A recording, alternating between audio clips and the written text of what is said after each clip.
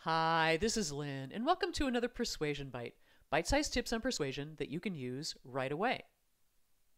I was thinking about the difference between goals and expectations. Now, a goal is a desired result, an expectation is something we believe will happen.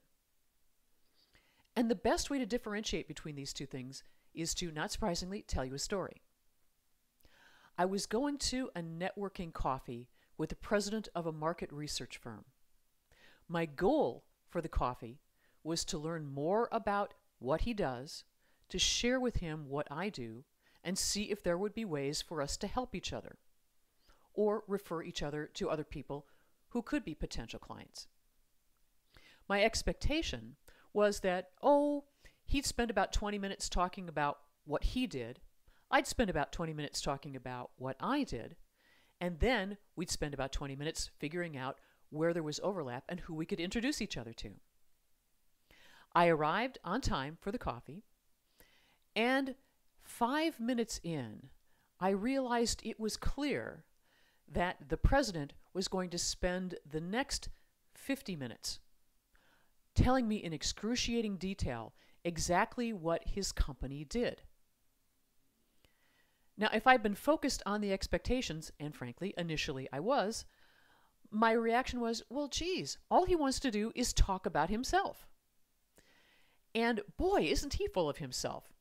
Value judgment.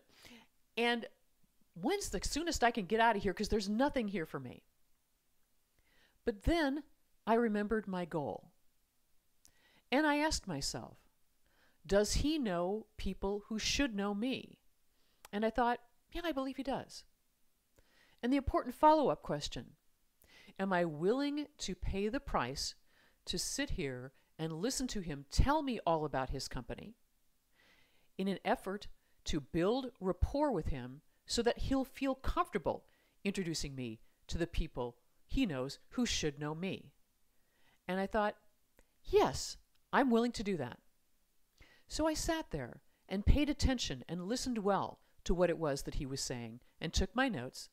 And at five minutes before the top of the hour, he turned to me and said, So, what do you do? And I'm a get crap done kind of person. I can tell somebody in five minutes what I do.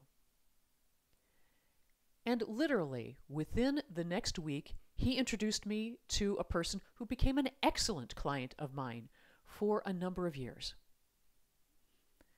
My expectation was how I would meet my goal.